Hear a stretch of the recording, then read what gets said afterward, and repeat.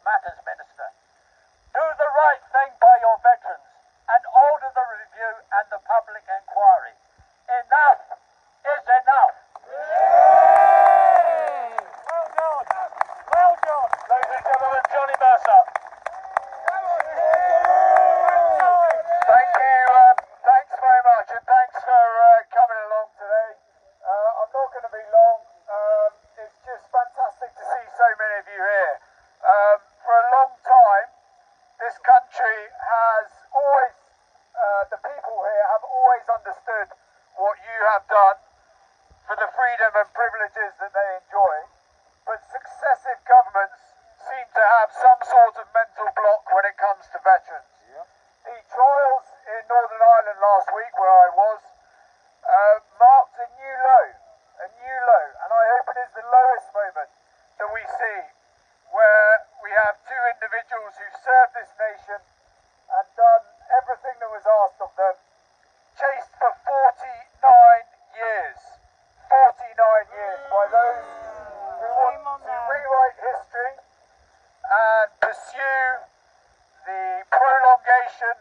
resolve the conflict in Northern Ireland through the courts. This has to end. It requires